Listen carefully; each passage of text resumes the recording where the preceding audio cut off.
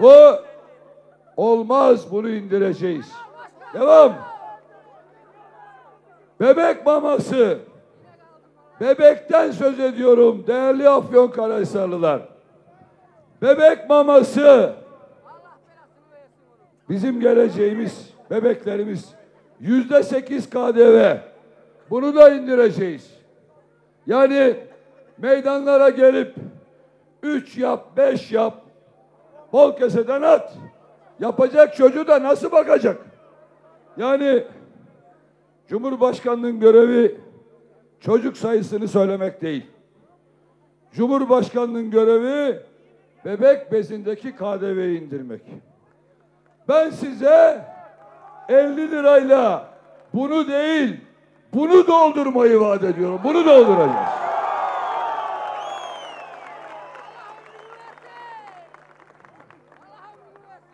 Dört, 4 Mayıs'ta Cumhurbaşkanı adayı oldum.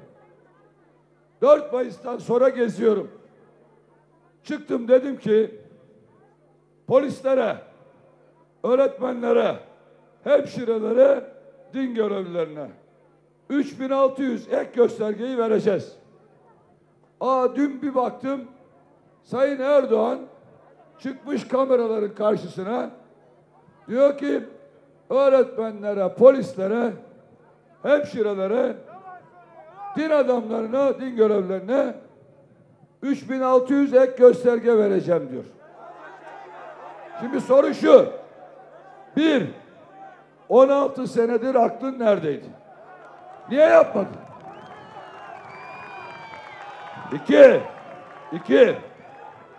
Demek ki 15 günde seni hizaya getirdim. 15 günde. İki, madem bu sözü verdin, şu anda Cumhurbaşkanısın, kanun hükmünde kararname çıkarma hakkın var. Hemen yarın sabah, hatta yarın sabah da bekleme, git sarayına, yaz kızım de bir kanun hükmünde kararname, bu gece öğretmenlere, polislere, hemşirelere, din görevlilerine 3600'ü ver. Yetkin var mı? Var. İstersen yapabilir misin? Hem de önümüzde seçim var. Yap oylarını da al hadi. Yap. Yap hadi. Ama size size Muharrem İnce sözü, öğretmen sözü, gariban sözü. Söz. Söz. Bu 3600'ü yapacağız. Bak bir şey daha söyleyeyim. Kasım ayı, Kasım. Kasım. Mecliste görüşülüyor plan bütçede. Cumhuriyet Halk Partili milletvekilleri önerge veriyor. Öğretmenlere, polislere 3600 verilsin diye. AK Partili milletvekilleri reddetmiş. Ya sen 16 senedir vermemişsin. Kasım'da reddetmişsin. Şimdi meydanlarda vereceğim diyorsun. Bir şey daha. 16 senedir iktidarda akşam dün cemevlerini hatırladı. Cemevlerine hukuki statü kazandıracakmış. Ya sen düne kadar hakaret ediyordun insanlara, cümbüş evi diyordun. Cümbüş evi diyordun. 50 defa teklif ettik, kabul etmedin. Aklına yeni mi geldi? Yeni mi hatırladın bunları? Bakın 15 günde bu hale geldiler. Emin olun daha var bir ay. Bunlar bir ay içinde ince hastalığa tutulacaklar.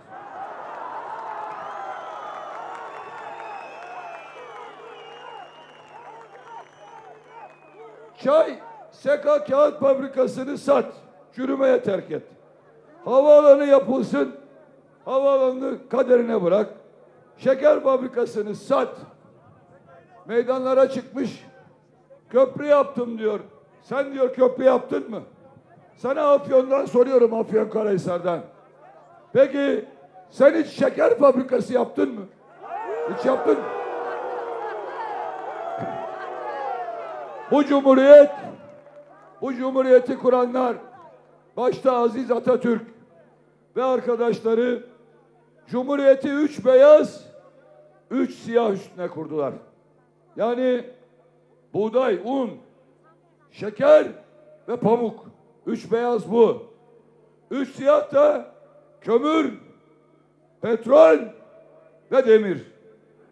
Bunun üzerine kurdular. Sen bu ata miraslarına sahip çıkmadın. Tam tersine bunları araç mezat sattın. Ve satıyorsun. Bakın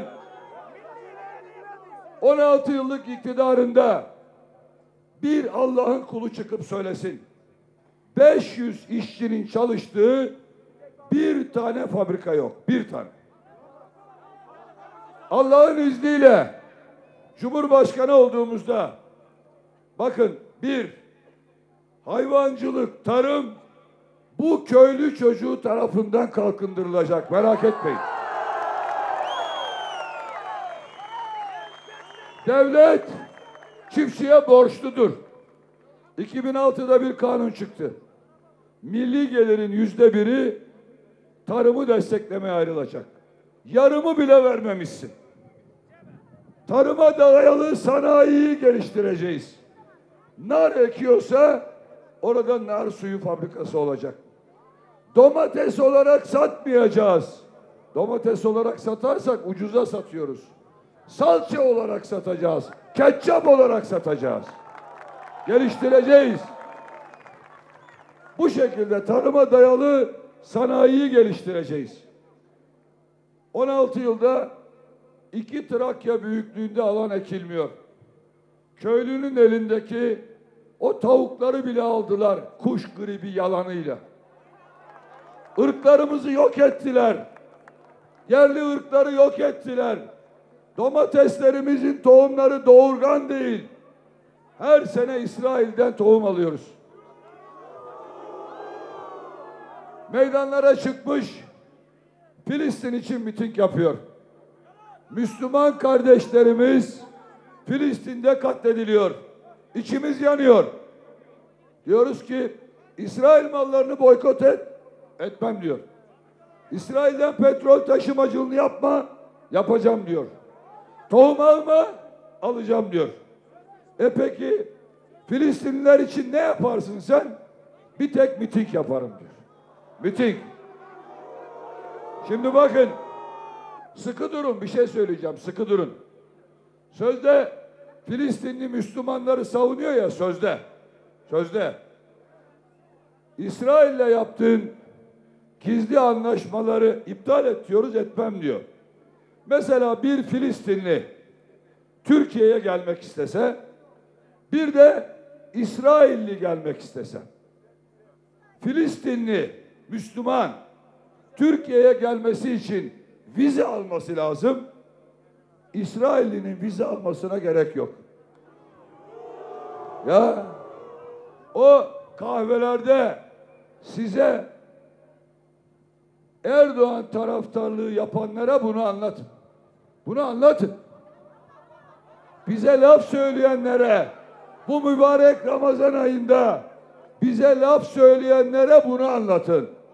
Ya deyin ki 16 yıllar bunlar iktidarda Filistinli Türkiye'ye vizeyle geliyor. İsrailli vizesiz geliyor. Bu nasıl Müslümanlık? Bu nasıl Filistin taraftarlığı? Bunları anlatmanız lazım. Şimdi az önce Uşak'ta miting yaptık. Özel kanallar 20-25 dakika veriyor. TRT vermiyor 10 dakika. Bu bu TRT'ye önümüzdeki hafta TRT'nin önünde miting yapacağım. Söz. Bunu yapacağım. Haddini bildireceğim onlara.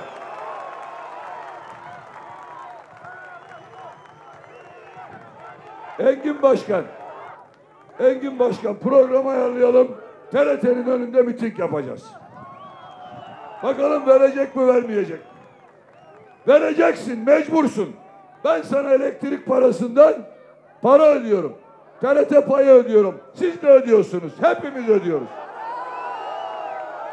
TRT TRT Erdoğan'ın borazanı olamaz, olmayacak. Hakkımız var orada. Hakkımızı kimseye yedirmeyiz. Orada hakkımız var. Çıkarın telefonları şimdi. Çıkarın akıllı telefonları. O yandaş TRT'ye inat, siz canlı yayın yapın. Hadi hepiniz canlı yayın yapın. Hepiniz. 24 Haziran'dan sonra ben millet ben Cumhurbaşkanı olduğumda hep milletvekiline alışmışım. E 16 sene oldu. Ben Cumhurbaşkanı olduğumda emin olun o TRT'deki yalaka takımı bu sefer de bana yapmaya çalışacaklar. Ama onu, onu yaptırmayacağım. Benim de borazanım olmayacak. Milletin televizyonu olacak orası. Milletin.